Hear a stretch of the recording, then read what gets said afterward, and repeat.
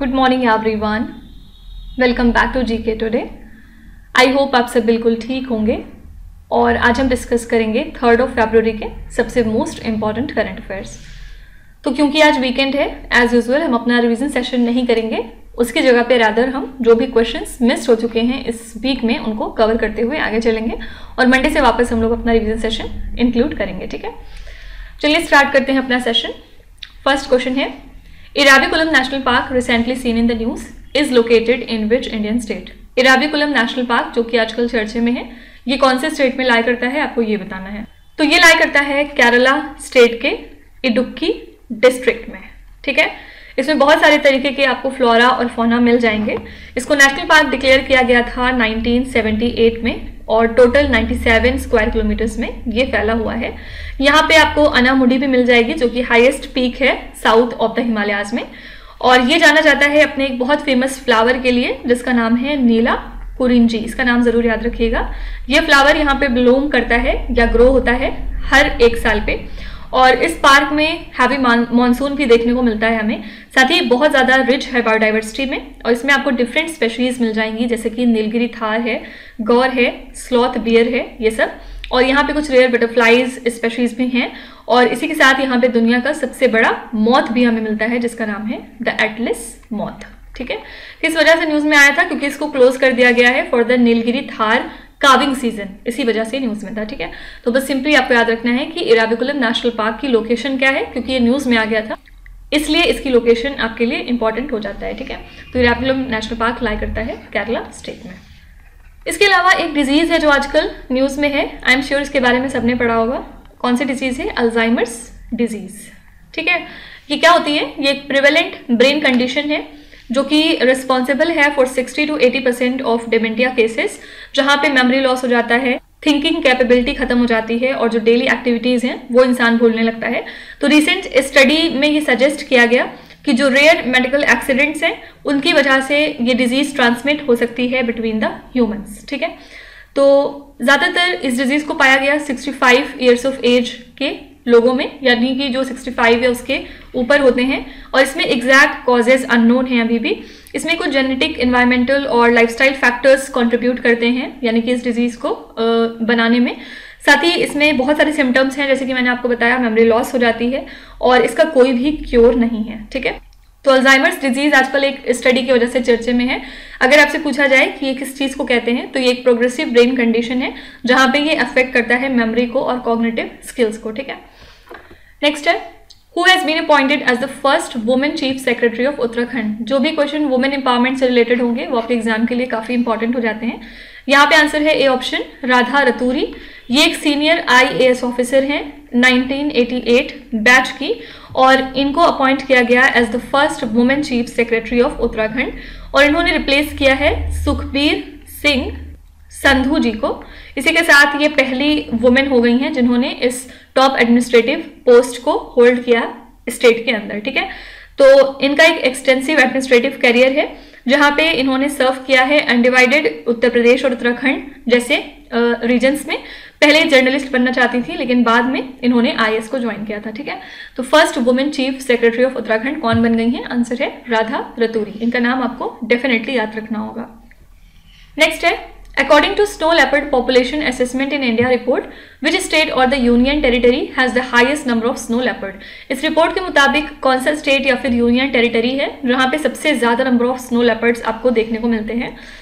तो union minister of environment forest and climate change, mister Bhupender Yadav ने release किया India का पहला snow leopard population assessment report. और ये चार साल की साइंटिफिक एक्सरसाइज या एक्सपेरिमेंट थी, जिसके लिए इन्होंने कोऑर्डिनेट किया था wild life institute of India के साथ। और अब इन्होंने एस्टिमेट किया है कि इंडिया में फ़िलहाल लगभग 718 स्नो लेपर्ड्स मौजूद हैं, ठीक है? इसमें सबसे ज़्यादा स्नो लेपर्ड्स लद्दाख में मिल जाएँगे आपको 477 उसके बाद सेकेंड पोजिशन पे आता है उत्तराखंड, यहाँ पे आपको मिल जाएँगे 124 फिर हिमाचल प्रदेश में है 51 अरुणाचल प्रदेश में है 36 सिक्किम स्टेट में है 31 31 नहीं 21 और उसके बाद जम्मू एंड कश्मीर में नाइन है, ठीक है? तो आपको सिर्फ़ टॉप वाला याद रखना है, ये सब समझाने के लिए है। लद्दाख में सबसे ज़्यादा स्नो लेपर्ड्स फ़िलहाल मौजूद हैं। और ओवरऑल अगर हम बात करें तो इंडिया में ten to fifteen percent of global snow leopard population मौजूद है, ठीक है? तो यहाँ पे आपका आंसर हो जाएगा A option that is Ladakh. Next है Salher fort Shivneri fort and Panhala fort recently seen in the news are located in which Indian state ये सारे फोर्ट्स कहाँ पे लाई करते हैं, आपको ये बताना है। तो आंसर है यहाँ पे B option Maharashtra actually India ने प्रपोज किया है Maratha military landscapes of India को for UNESCO world heritage list recognition 2024 और 25 के लिए। ठीक है? इसको डेवलप किया गया था सेवनटीन और नाइनटीन सेंचुरी में और ये जो मिलिट्री लैंडस्केप्स हैं, ये शोकेस करते हैं exceptional fortification system and vision by the Maratha rulers ठीक है? तो ये जो नेटवर्क है फोर्ट्स का ये फैला हुआ है Sahyadri mountain ranges Konkan coast Deccan plateau eastern Ghats वगैरह से लेते हुए और ये इंटीग्रेट करता है डिस्टिंक्टिव लैंडस्केप्स को। साथ ही इसमें कुछ नोटेबल कंपोनेंट्स हैं, जैसे कि सालहर फोर्ट हो गया, शिवनेरी फोर्ट रायगढ़, विजयदुर्ग, ये सब। तो मराठा मिलिट्री आइडियोलॉजी जो कि डेट करती है फ्रॉम सेवनटीन सेंचुरी ये कब तक कंटिन्यू हुई थी? जब तक पेशवा रूल नहीं आया था 1818 सीई में। ठीक है? तो सिंपली याद रखिएगा सारे फोर्ट्स लाई करते हैं महाराष्ट्र में। किस वजह से आजकल न्यूज़ में है? क्योंकि इंडिया ने प्रपोज किया है Maratha military landscapes of India को for UNESCO world heritage list recognition 2024 और 25 के लिए, ठीक है? यहाँ पे महाराष्ट्र के बारे में एक चीज़ और आपको याद रखनी है। महाराष्ट्र ने हाल ही में एनटीपीसी ग्रीन एनर्जी लिमिटेड के साथ एक मेमोरेंडम ऑफ़ अंडरस्टैंडिंग साइन किया है for the development of green hydrogen and renewable energy तो इस एमओयू में बहुत सारी बातें हुई हैं, जैसे कि ग्रीन हाइड्रोजन को डेवलप किया जाएगा और उसके डेरिवेटिव्स को सच एज ग्रीन एमोनिया और ग्रीन मेथनॉल वगैरह, और इसकी कैपेसिटी होगी one million tonnes per year okay इस एमओयू में ये भी बात हुई है कि रिन्यूएबल एनर्जी प्रोजेक्ट्स को डेवलप किया जाएगा और पंप्ड स्टोरेज प्रोजेक्ट्स को भी डेवलप किया जाएगा ऑफ़ टू गीगा वॉट यानी कि उनकी कैपेसिटी दो गीगा वॉट ही होगी, ठीक है? तो अगर आपसे पूछा जाए कि कौन सी स्टेट गवर्नमेंट है जिसने एक एमओयू साइन किया with NTPC for green hydrogen and renewable energy development तो आंसर हो जाएगा महाराष्ट्र स्टेट नेक्स्ट है, Bharat 5G portal which is an integrated portal recently seen in the news is launch by which ministry Bharat 5G portal जो कि आजकल चर्चे में है, इसको किस मिनिस्ट्री ने लॉन्च किया? आपको ये बताना है। तो डिपार्टमेंट ऑफ़ टेली कम्युनिकेशन जो कि वर्क करता है अंडर मिनिस्ट्री ऑफ़ कम्युनिकेशन इन्होंने अनवील किया है भारत 5G पोर्टल को ड्यूरिंग भारत टेलीकॉम 2024 ये एक इंटीग्रेटेड प्लेटफॉर्म है जिसका फोकस रहेगा quantum 6G, IPR and 5G domains और ये केटर करते हैं स्टार्टअप्स इंडस्ट्री और एकेडमिया को ठीक है? और इसके लिए इन्होंने कोलाबरेट किया है पैनिथ यूएसए के साथ। तो ये इंट्रोड्यूस कराएँगे future tech experts registration portal को, जिससे कि इंडिया के टेलीकॉम इकोसिस्टम को सपोर्ट मिल सके। और ये पोर्टल सर्व करेगा as a centralized hub for quantum IPR 5G and 6G जहाँ पे इनोवेशन को प्रमोट किया जाएगा कोलाब्रेशन को इन्हांस किया जाएगा और नॉलेज शेयरिंग को कॉमन बनाने की कोशिश की जाएगी in the telecom sector for Atmanirbhar Bharat. ठीक है? तो भारत 5G पोर्टल किस मिनिस्ट्री से रिलेटेड है? Your answer is ministry of communication यहाँ पे बी ऑप्शन है फाइनेंस मिनिस्ट्री और ये भी न्यूज़ में थी, किस वजह से? क्योंकि मिनिस्ट्री ऑफ़ फाइनेंस ने एक रिपोर्ट जारी करी है, जिसका नाम इन्होंने रखा है द इंडियन इकोनॉमी ठीक है? बेसिकली ये एक किताब है, जिसमें इन्होंने रिव्यू दिया है जनवरी 2024 का। इस रिपोर्ट को जारी किया गया था यूनियन बजट को पब्लिश करने के कुछ ही दिन पहले, जो क्योंकि हम जानते हैं कि फ़र्स्ट ऑफ़ फरवरी को यूनियन बजट 2024 टू 25 को पब्लिश किया गया पार्लियामेंट में। और मिनिस्ट्री ऑफ़ फाइनेंस जो है वो पाँच डिवीज़न से मिलकर बना है। क्या क्या economic affairs revenue expenditure investment and public asset management और लास्ट है फाइनेंशियल सर्विसेज़ तो आपसे बस ये पूछ सकते हैं कि जो बुक है द इंडियन इकोनॉमी रिव्यू ये किस मिनिस्ट्री ने जारी करी है? तो your answer is ministry of finance next है where was the first national conference on promotion of seaweed cultivation held ये जो पहली कॉन्फ्रेंस है, ये कहाँ पे हुई है, आपको ये बताना है? तो ये जो कॉन्फ्रेंस थी, ये कच्छ, गुजरात में हुई है। यहाँ पे एक जगह है जिसका नाम है कोतेश्वर, वहाँ पे हुई है। और इस दौरान इसको चेयर किया union minister of fisheries Purushottam Rupala ने। यहाँ पे शोकेस किए गए डाइवर्स सीवीड कल्टीवेशन मेथड्स और सीवीड की बात करें तो ये एक माइक्रोस्कोपिक एल्गे होते हैं, जिनके ट्रू रूट्स और लीव्स नहीं होते हैं बेसिकली और ये पाए जाते हैं मरीन ऑन कोस्टल वाटर्स में, ठीक है? तो इनको चार ग्रुप्स में क्लासिफाई किया जाता है बेस्ड ऑन द पिगमेंट जो कि एब्जॉर्व करते हैं स्पेसिफिक वेवलेंथ ऑफ़ लाइट को।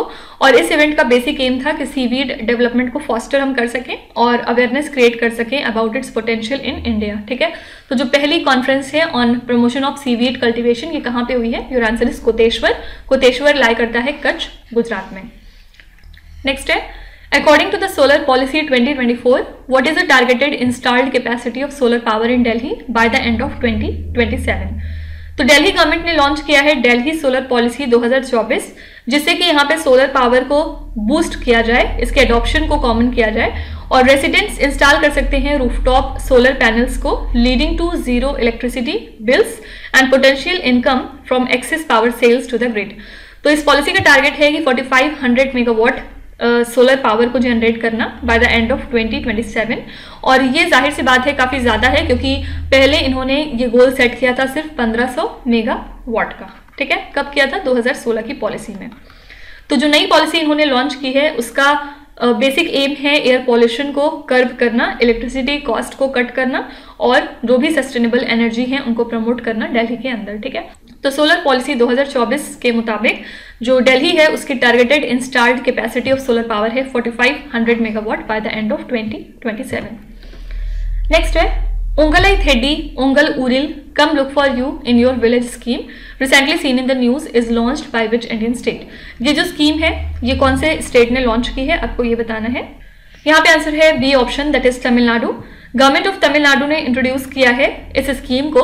जिसमें कि सिटीजन्स को ऑफ़र किया जा रहा है monthly access to state government scheme and scholarship इस इनिशिएटिव का बेसिक एम है प्रोजेक्ट परफॉर्मेंस को रिव्यू करना इंफ्रास्ट्रक्चर को इंस्पेक्ट करना और पब्लिक कंसर्न्स को एड्रेस करना, ठीक है?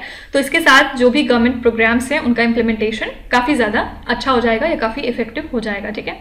तो ये स्कीम किसकी है? आंसर इज़ तमिलनाडु इसके अलावा एक ट्रेडिशनल थिएटर फॉर्म है, जिसका नाम है शुमंग लीला आपको बताना है किस स्टेट का ये थिएटर डांस है। तो यहाँ पे आपका आंसर है मणिपुर। और किस वजह से ये थिएटर आर्ट जो है वो चर्चे में आया है? क्योंकि इसको काफ़ी ज़्यादा चैलेंजेस फेस करने पड़ रहे हैं ड्यू टू एथनिक वायलेंस और इसकी वजह से जो यहाँ पे आर्टिस्ट हैं वो काफ़ी ज़्यादा इफेक्टेड हो रहे हैं। और जो स्टेट की कल्चरल रिचनेस है वो भी कहीं ना कहीं इम्पैक्ट उसके ऊपर पड़ रहा है, ठीक है? तो ये एक मास एजुकेशन और एंटरटेनमेंट का बहुत ही अच्छा तरीका था। इस यूनिक थिएटर में जो मेल एक्टर्स होते हैं, वो पोर्ट्रे करते हैं फीमेल रोल्स को और जो ट्रांसजेंडर एक्टर्स होते हैं, वो फीमेल कैरेक्टर्स को लेते हैं, ठीक है? तो इस प्ले का बेसिक एम है कि पब्लिक को हम एजुकेट कर सकें on different social political and economic issues दो तरह से। फ़र्स्ट है इसमें नूपा शुमांग लीला जो कि सिर्फ़ और सिर्फ़ मैन परफॉर्म करते हैं और सेकेंड है इसमें नूपी शिमांग लीला जो कि परफॉर्म करती हैं सिर्फ़ वुमेन ओके okay? तो सिंपली आपसे पूछा जा सकता है कि श्रीमांग लीला, जो कि आजकल चर्चे में है, ये एक ट्रेडिशनल फॉर्म है थिएटर का? किस स्टेट में परफॉर्म किया जाता है? आंसर है मणिपुर। नेक्स्ट है recently which neuro technology company has embedded the first computer chip in human brain कौन सी इसमें से न्यूरो टेक्नोलॉजी कंपनी है? जिसने कि एम्बेड किया है पहली बार एक कंप्यूटर चिप को ह्यूमन ब्रेन के अंदर। तो यहाँ पे आंसर है ए ऑप्शन न्यूरालिंक न्यूरालिंक पहली कंपनी है जो कि इम्प्लांट कर रही है किसी कंप्यूटर चिप को ह्यूमन ब्रेन में। और ये एक न्यूरो टेक्नोलॉजी कंपनी है, जिसको कि 2016 में फाउंड किया था एलॉन मस्क ने, ठीक है?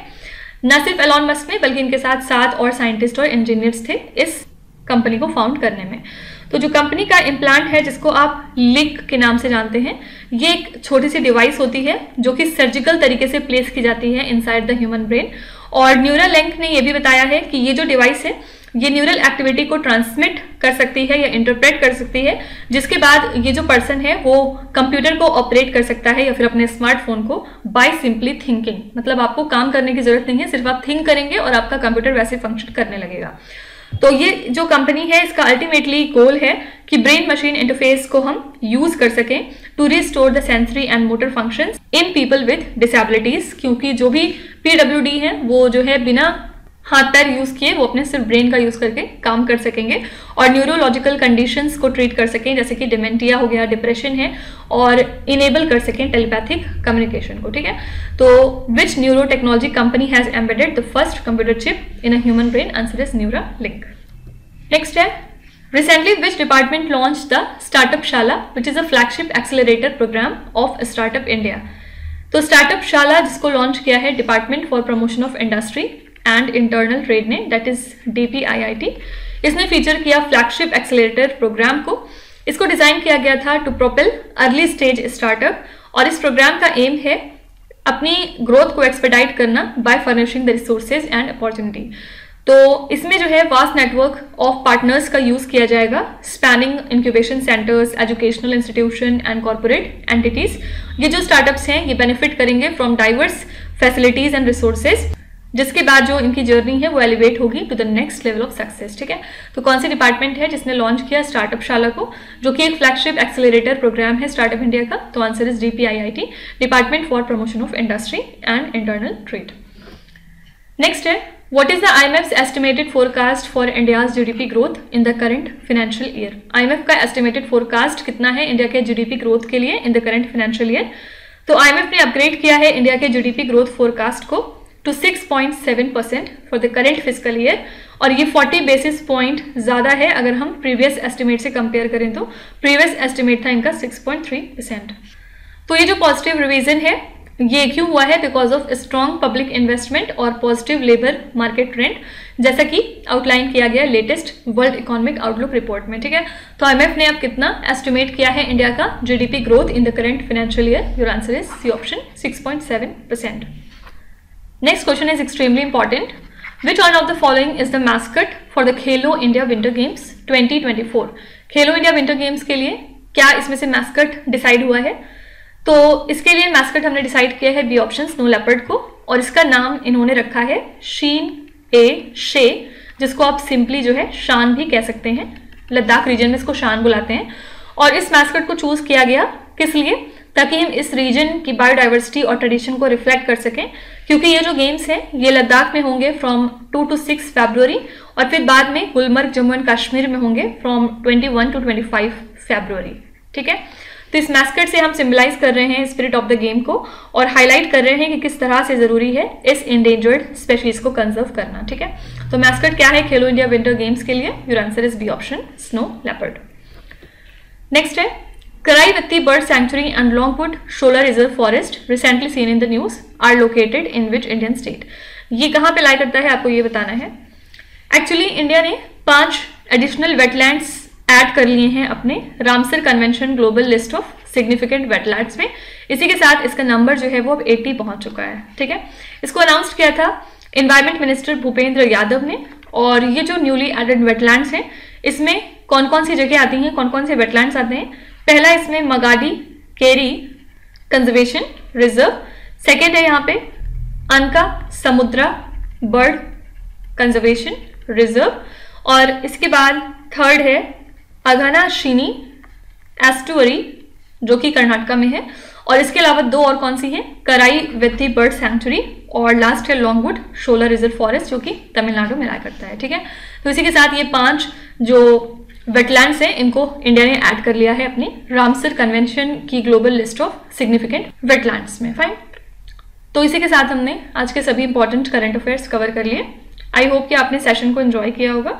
जो भी हमारा रह गया था इस वीक में, उसको हमने आज देख लिया है। तो मंडे से हम लोग वापस अपना रिवीजन लेते हुए फिर आगे चलेंगे, ठीक है?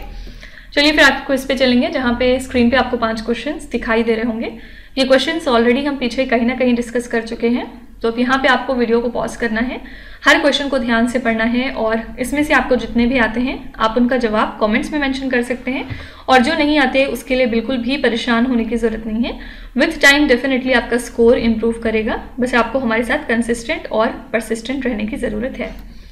So that's it for today I hope you have like the session आज का सेशन आपको कैसा लगा, आप ज़रूर बताइएगा कॉमेंट्स में। साथ ही साथ आपका कोई भी रिव्यू है फीडबैक है, या फिर सजेशन है तो वो भी आप हमें बता सकते हैं। हमें जानकर खुशी होगी और हम पूरी पूरी कोशिश करेंगे उसको इम्प्लीमेंट करने की। तो कल फिर हम मिलेंगे सेम टाइम सेम जगह। कल के करंट अफेयर्स के साथ। Till then stay tuned thank you so much for watching and please do not forget to subscribe to G K today with this Meenu हथसना signing of